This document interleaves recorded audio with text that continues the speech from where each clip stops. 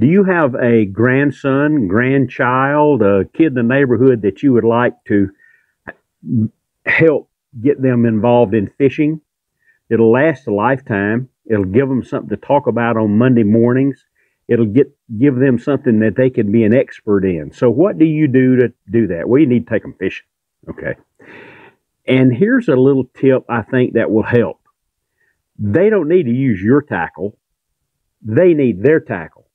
They need their rod and reel. They need their spool of line. They need their bag of worms, their oil, their cleaner, their tackle box, their weights, their hooks.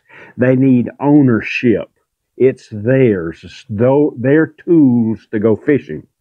They don't need to always go with you. They can go on their own. Just have some fisher's choice bait, bait. They can fish off the bank somewhere. It will help if they have their tackle. I remember the very first rod and reel I ever had. It was a Johnson Century that someone gave me, and I treasured it and wish I still had it today.